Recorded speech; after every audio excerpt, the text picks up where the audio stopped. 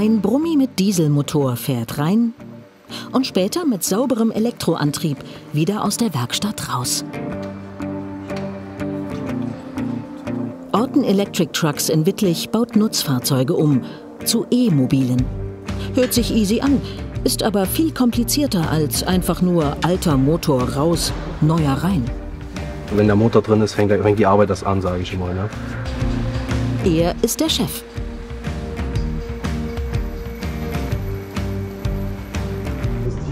Robert Orton hat das Start-up-Unternehmen gegründet. Mit 60. Er ist ein Überzeugungstäter. Wenn man sagt, dass die bessere Technik sich dauerhaft durchsetzt, dann äh, bin ich überzeugt, dass allein aus der technischen Ecke ähm, wir in der Richtung schon auf dem richtigen Pferd sitzen.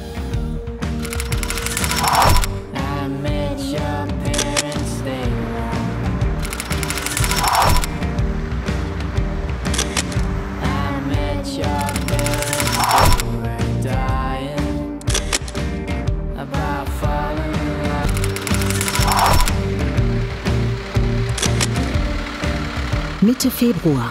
In der Werkshalle dominiert Orange. 30 fabrikneue Müllfahrzeuge mit Dieselmotor. Im Auftrag der Berliner Stadtreinigung sollen sie hier in Wittlich auf Elektro umgerüstet werden. Ein fetter Auftrag für die gerade mal fünf Jahre junge Firma. Der Zeitdruck ist groß. Seit Wochen stehen alle 13 Mitarbeiter unter Hochspannung. Auch der 65-jährige Chef Robert Orten und Betriebsleiter Willi Chemnitz. Für beide ist das hier nicht nur Geschäft, sondern auch ein großes Abenteuer.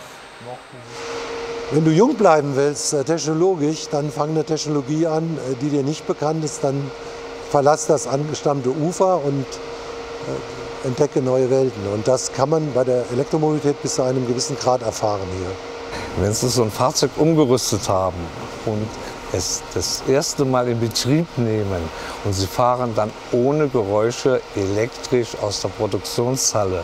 Das ist der Kick hier für alle meiner Mitarbeiter. Bis dahin aber ist es noch ein langer Weg. Zuerst mal muss der nagelneue Verbrennermotor raus. Eigentlich absurd.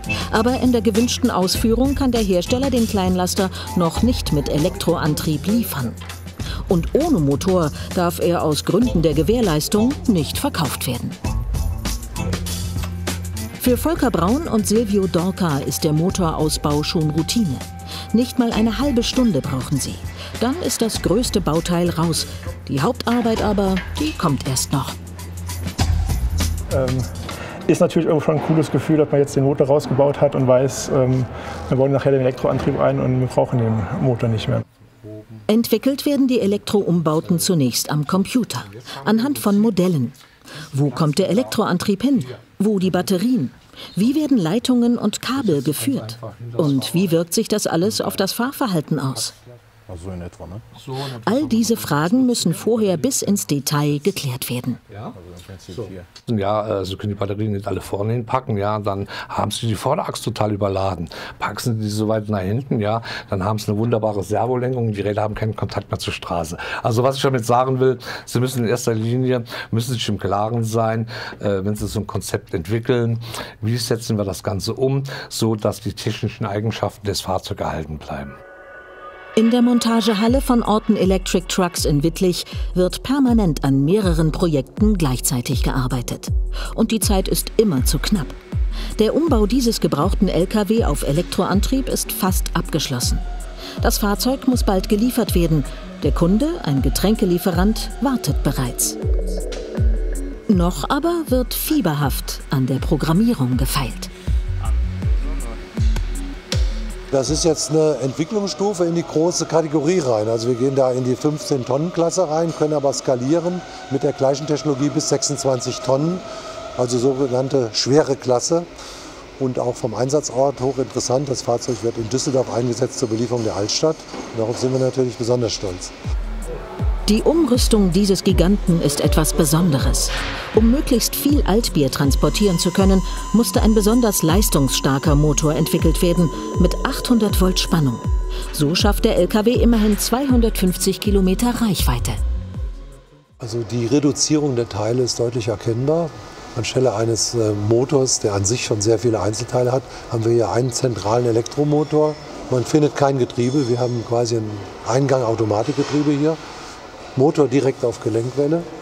Keine Kraftstoffbehälter naturgemäß. Und dadurch äh, haben wir die Platzverhältnisse auch, um unsere Batterien und die anderen Komponenten unterzubringen. Elektromeister Markus Wilvers fällt so langsam eine Riesenlast von den Schultern. Jetzt, wo die Umrüstung des Lasters fast geschafft ist. Ich habe hier in das Fahrzeug sehr viel, sehr viel Herzblut reingesteckt in die ganze Planung. Äh, war knapp einen Monat da dran.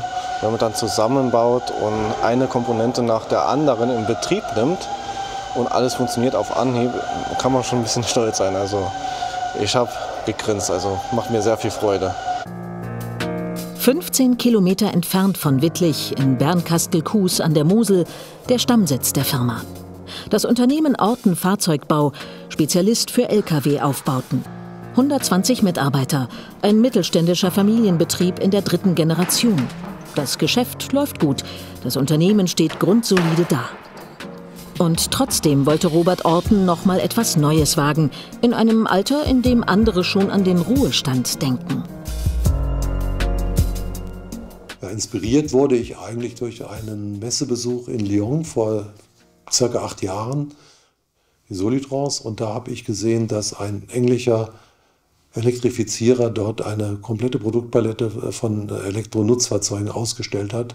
Das hat den Anschluss gegeben. Man braucht ja immer diese Initialzündung. Und da ich überzeugt war, dass das die Zukunftstechnologie ist, hat das einen beschäftigt und hat das einen nicht mehr losgelassen. Vor fünf Jahren mit 60 gründet der vom Wesen her eher konservative Unternehmer das Start-up Orton Electric Trucks und wagt sich nochmal in ein ganz neues Geschäftsfeld. Dazu noch in eines, das ständig in Bewegung ist.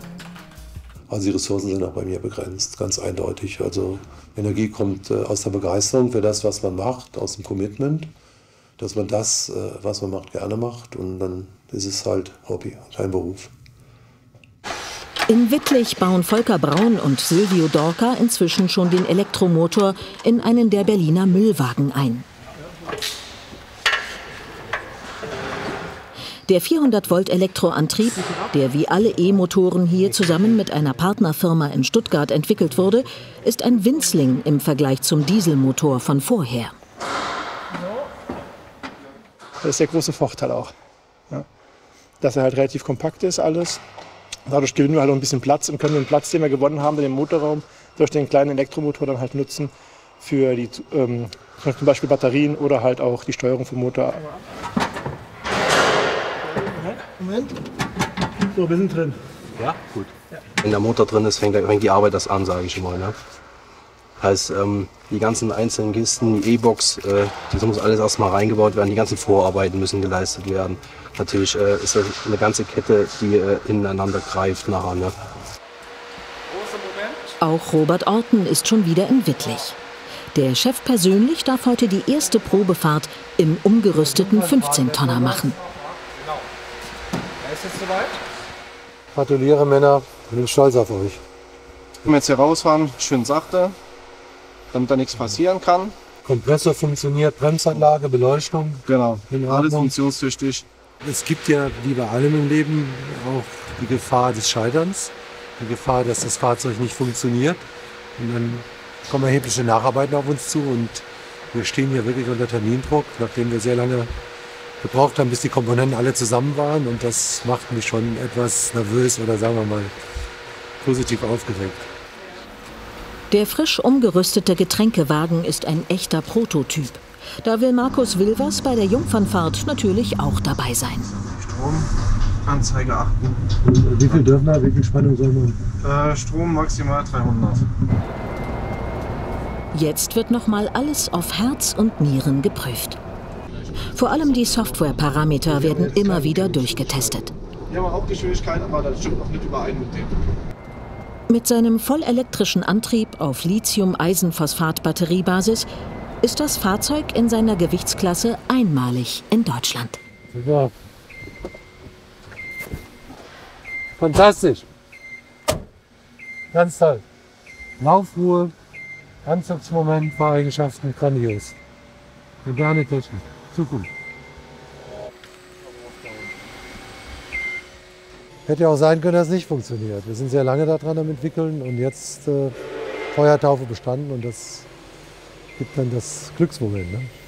Ist natürlich für mich ein Riesengefühl gewesen, wenn ich mit dem Chef eine Probefahrt mache und er ist total begeistert von dem Auto, was man selber durchgeplant hat und einen Lob nach dem anderen raushaut. Da ist man natürlich stolz und, wie, und richtig motiviert. Egal wie groß der Stress auch ist, Mittag muss sein. Manchmal geht es gemeinsam zur Pommesbude um die Ecke. Alle Mitarbeiter teilen die Begeisterung für die E-Mobilität.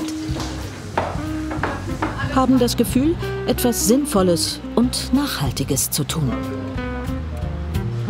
Das macht viel aus, auch für das Betriebsklima.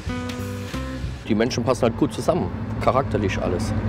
Wir haben eine positive Grund Grundstimmung halt bei uns und wir behandeln uns alle gerne im Endeffekt wie Freunde halt, Kollegen.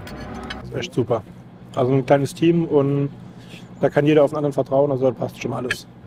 Heute bei dem Wetter genieße ich das auch mal eine halbe Stunde abzuschalten ja. und mal über andere Themen zu sprechen, außer Arbeit. Ein paar Wochen später, Ende März. Die Umrüstarbeiten an den Müllfahrzeugen für Berlin laufen auf Hochtouren, wie geplant. Ansonsten aber ist alles anders. Das Coronavirus hält die Welt in Atem. Lockdown, täglich steigende Infektionszahlen, die Sorge um die Zukunft der Wirtschaft. All das sind auch in Wittlich die bestimmenden Themen. Noch hat das Virus hier keine direkten Auswirkungen auf die tägliche Arbeit an den Fahrzeugen. Doch Betriebsleiter Willi Chemnitz denkt über den Tag hinaus. 90 Prozent unserer Lieferanten sind gut ausgestattet und haben keine Probleme, uns für die Aufträge für dieses Jahr zu beliefern. Auch der Nachschub an den wichtigen Batterien aus China scheint gesichert. Das Lager ist gut gefüllt. Aber es gibt trotz allem immer noch äh, diverse andere Teile, die momentan fehlen und unser Vorlieferant leider keine Aussage treffen kann, wann treffen diese wichtigen Bauteile bei uns ein. Robert Orten ist gekommen zum Krisengespräch. Auch wenn die Produktion hier in Wittlich eigentlich fast nach Plan läuft, spürt auch das junge Start-up-Unternehmen die Auswirkungen der Corona-Krise ganz direkt. Wen er da empfehlen kann. Projekte werden verschoben und die allgemeine Schockstarre macht es schwierig, neue Aufträge an Land zu ziehen. Überall wird abgewartet. Und das alles Entscheidende wird sein, wann kommt das Vertrauen der Kundschaft zurück, ähm, erneut eine Investitionsbereitschaft zu zeigen und die große Chance auch zu wahren, dass man jetzt vielleicht eine klimaschonende neue Technologie auch zum, zum Durchbruch verhilft. Ne? Dass man den, den Wiederanlauf mit einer neuen Technologie dann auch fördert. In der Montagehalle geht die Arbeit an den 30 Müllfahrzeugen für die Berliner Stadtwerke gut voran. Bei den ersten wird schon feinjustiert. Ralf Chemnitz kämpft sich durch die Verkabelung des neuen Elektromobils. Antrieb, Bremsen, Steuerung, Lichtmaschine. Jedes noch so kleine Detail muss bei einer Elektrifizierung neu verschaltet werden. Am Anfang sind es große Baukomponenten, das sieht man natürlich schnell im Fortschritt. Und wenn es natürlich auf die ganze Feinelektrik kommt, dann wird das natürlich im Ganzen wesentlich kleiner beschritten, weil man immer wieder nur an demselben Punkt am Arbeiten ist. Da, wär, da muss man halt die 2, 3, 400 Kabel mal zusammenbringen.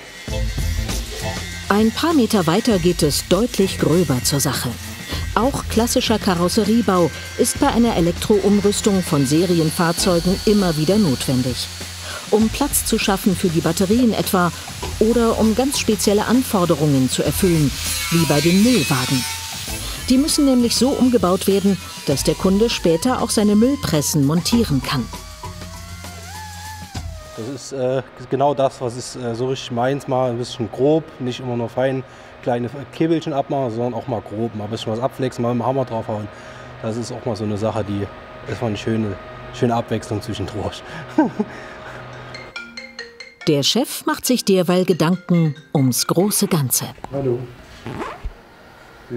Was bedeutet die Corona-Krise für sein junges Start-up-Unternehmen, für die Branche, aber auch für die Gesellschaft insgesamt? Ja, Corona kam ja über Nacht. Das ist ja ein Einschlag, äh, will jetzt keine Plattitüde wiedergeben, die wir in 75 Jahren deutscher Geschichte nicht erlebt haben. Das macht Sorge. Aber Corona macht natürlich auch deutlich, äh, dass das Ganze auch einen ökologischen Aspekt hat, einen Gesundheitsaspekt, über den wir uns Gedanken machen müssen. Es ist quasi auch ein Warnschuss vor dem Bug der Menschheit, umzudenken und Überlegungen anzustellen, ob das, was wir in der Vergangenheit getan haben, alles richtig ist. Es ist ja nicht nur ein Virus, sondern das ist ja auch ein Ausläufer einer falschen ökologischen Entwicklung und einer ein Verstoß gegen die Natur, würde ich mal sagen. Ähm, darüber müssen wir auch nachdenken. Der umgerüstete Getränke-LKW ist mittlerweile fertig. Endlich. Und bereit zur finalen Abnahme. Der Job von Elektromeister Markus Wilvers. Jetzt, nach monatelanger Arbeit, wird noch einmal geschaut, ob auch wirklich alles funktioniert. Punkt für Punkt. Da gehört natürlich nicht nur Sichtkontrollen dazu, sondern auch Funktionstests. Ähm, zum Beispiel Beschleunigungstest mit dem Fahrzeug, Bremsentest mit dem Fahrzeug sowie die ähm, ganz normalen Funktionen im Armaturenbrett, am, am Dashboard, ob noch alles funktioniert. Sicher versteckt unter der Fahrerkabine liegt das Herzstück des 15-Tonner Elektrotrucks, die Hochvoltzentrale. Von hier aus wird alles gesteuert. Vor allem die Starkstromkabel müssen ganz genau kontrolliert werden. Hier kommt im Prinzip die ganze Elektrik von dem Fahrzeug zusammen und wird auch darin verschaltet, überwacht. Ähm, da, wenn wir da einen Fehler drin haben, dann äh, geht gar nichts mehr. Das wichtigste Kontrollinstrument von Markus Wilvers, sein Laptop. Denn das A und O bei einem Elektrofahrzeug ist, dass die Software reibungslos funktioniert. Immer und immer wieder wurde in den letzten Wochen optimiert und an Details gefeilt. Jetzt endlich passt alles. Hi Markus. Hi. Wie läuft es mit der neuen Software? Ganz gut soweit. Muss ja jetzt gerade mal die ganzen Daten zusammenstellen. Ja.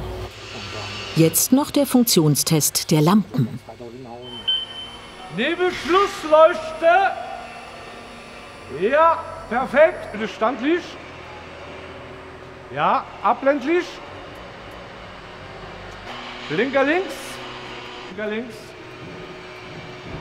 Und das Fernlicht. Ja, prima, alles okay. Ein Projekt wie ja, gerade dieses, was nicht jeden Tag produziert wird, da hängen doch ein bisschen mehr Emotionen mit bei. Das ist immer ein schönes Gefühl, weil es kurz vor der Auslieferung haben das Projekt erfolgreich abgeschlossen und das nächste kann kommen. Robert Orten auf dem Weg zu einem Termin in Bernkastel-Kues, seiner Heimatstadt. Auch wenn das Zentrum der Mittelmosel mit seinen 7000 Einwohnern hauptsächlich vom Tourismus lebt, ist die Firma Orten hier ein ganz wichtiger Arbeitgeber.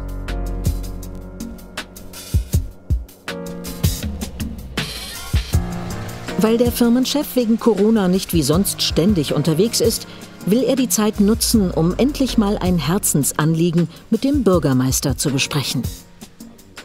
Wolfgang Port und Robert Orten kennen sich gut. Es ist nicht das erste Mal, dass sie über den Shuttlebus reden, der die Touristen auf die Burg fährt. Mit einem uralten Dieselmotor. Das will Robert Orten ändern. Ähm, jetzt wollen wir mal den Anlauf machen, dass wir vielleicht den Shuttlebus zur Burg elektrifizieren. Geht ja nicht geradeaus, sondern das geht relativ steil hoch. Da wird auch schon Energie verbraucht. Insofern äh, ist an das Projekt natürlich auch eine erhöhte Anforderung gestellt. Ich denke, dass äh, der Tourismus und, und auch hier in der Stadt äh, daran gemessen wird, wie stark man auch äh, emissionsfrei arbeitet. Und da kämpfe ich auch darum, dass wir hier mal einen Bus von uns später zur Burg hoch und runter fahren lassen, der elektrifiziert ist. Weil ich werde mich mit den Argumenten schon meiner Kunden auseinandersetzen müssen. Also wenn es dir noch nicht mal gelingt in deinem eigenen Heimatort, und dann kennst du doch den Bürgermeister, einen Elektrobus in Anführungszeichen einzusetzen oder zu verkaufen, dann ist es natürlich äh, auch ein Stück mangelnde Glaubwürdigkeit, das nach außen darzustellen. Also das ist eigentlich ein Muss, da werde ich auch drum kämpfen. Das beste Argument soll eine Probefahrt mit einem der E-Busse aus der Ortenflotte sein. Hoch hinauf geht es, über Wirtschaftswege durch die Weinberge zur Burg Landshut. Genau die Strecke, die auch der Touristenshuttle fährt. Dass die beiden sich seit Jahren kennen, ist in so einem Moment unbezahlbar. Und der Ausblick von hier oben, weit weg vom Alltagstrubel, hilft auch. In so einer Atmosphäre lässt sich bestens über Visionen sprechen. Nicht nur abstrakt, sondern auch ganz konkret.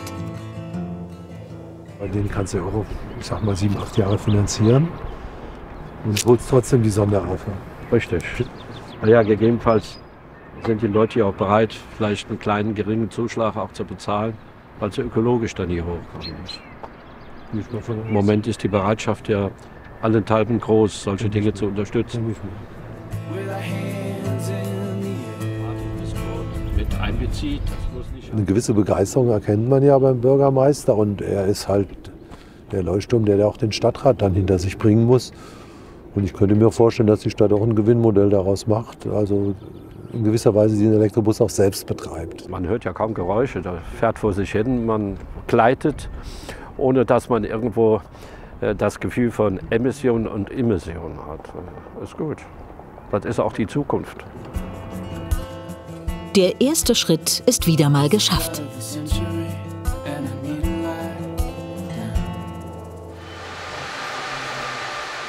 In der Montagehalle in Wittlich läuft die Umrüstung der Berliner Müllwagen weiter auf Hochtouren.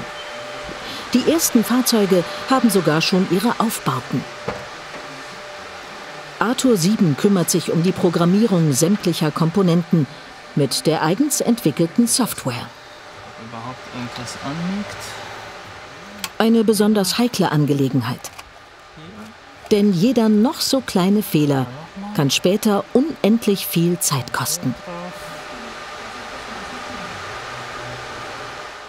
Da muss man auch sehr präzise arbeiten, um jeden kleinen Fehler auszuschließen, der irgendwie nur passieren kann. Gerade bei so wichtigen Komponenten wie dem Gaspedal darf da überhaupt keine Störung passieren. Elektromeister Markus Wilvers sitzt mitten im Geschehen.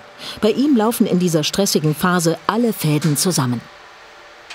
Man sieht zwar von außen jetzt, die Fahrzeuge sehen ziemlich fertig aus, aber innen drin, in der Software, was man nicht sieht, da ist noch so viel Arbeit, was noch vor uns liegt. Unterdessen ist Silvio Dorca mit der Verlegung der Hochvoltkabel beschäftigt. 400 Volt laufen hier später durch, um den Strom von den kobaltfreien Batterien dorthin zu bringen, wo er gebraucht wird. Eine Menge davon gibt es.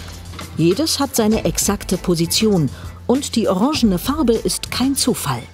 Die Hochvoltkabel die setzen wir mit einer farblich natürlich ab, dass man nachher sieht, im Falle des Falles, dass äh, ein Unfall oder irgendwas passiert, dass man natürlich sieht, wo gehen unsere Leitungen lang.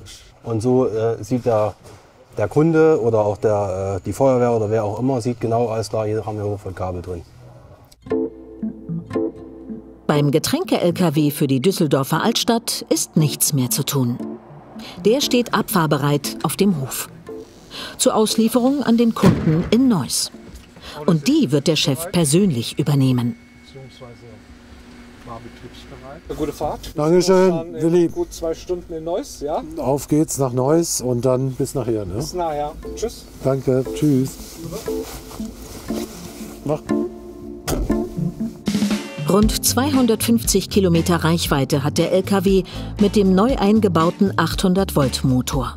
Das reicht bis zum Ziel. Einige Probefahrten mit dem Prototypen hat Robert Orten ja schon hinter sich. Doch jetzt, nach monatelanger Arbeit, wirklich unterwegs zu sein, das ist noch mal etwas ganz anderes. So, jetzt machen wir mal die Rekuperation rein hier, weil es ein bisschen runter geht.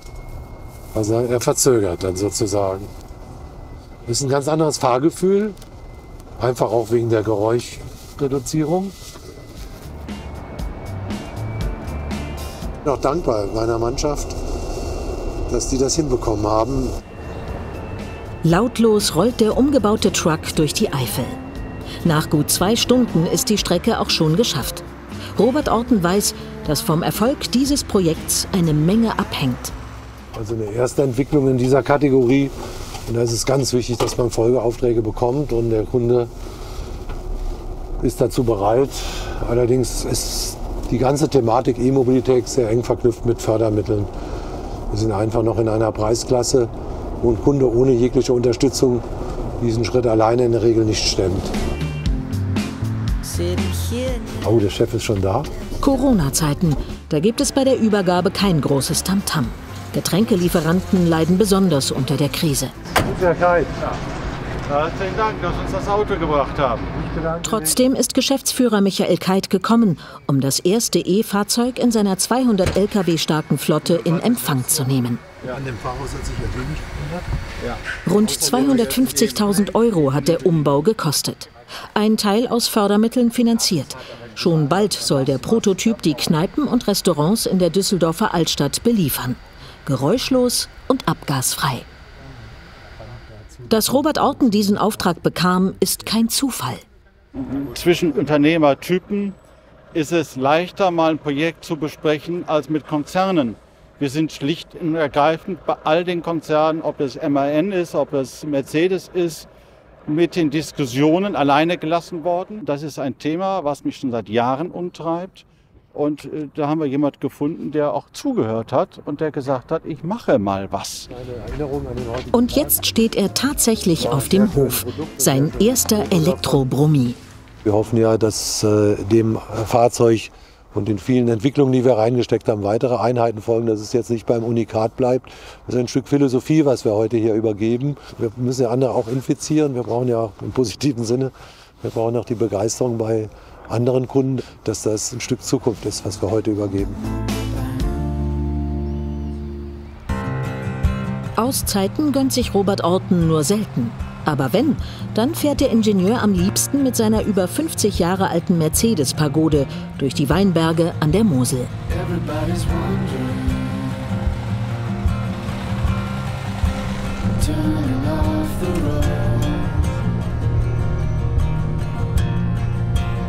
Abschalten und loslassen, das fällt dem Vollblutunternehmer immer noch schwer.